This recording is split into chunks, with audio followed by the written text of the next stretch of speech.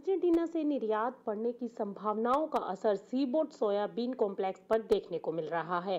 सितंबर के दौरान सोयाबीन निर्यात के लिए तरजीह विनिमय दर की पेशकश करने के अर्जेंटीना के फैसले से अमेरिका से निर्यात सुस्त पड़ने के अंदेशे से सीबोट सोयाबीन टूट रहा है।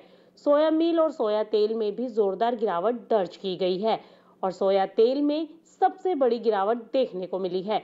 विदेशी बाजारों में खाद्य तेलों के दाम गिरने के बीच सरकार द्वारा देश में भी खाद्य तेल के भाव में और कमी लाने पर ज़ोर देने के कारण भी सोयाबीन की कीमतों में गिरावट आई है।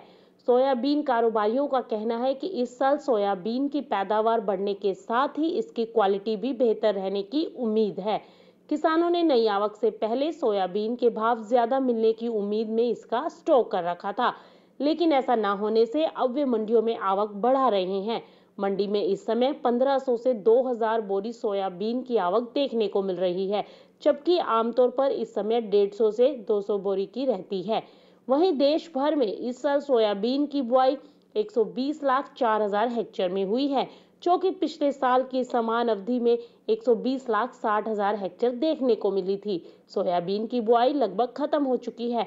अब सोयाबीन के रकबे में बहुत ज़्यादा बदलाव नहीं होने के आसार हैं, लेकिन अब तक ज़्यादातर सोया उत्पादक इलाकों में फ़सल की स्थिति अच्छी बताई जा रही है। ऐसे में आगे नुकसान नहीं हुआ तो उत्पादन बढ़ सकता है और कीमतों पर दबाव बना रह सकता है। Bureau report, market times TV.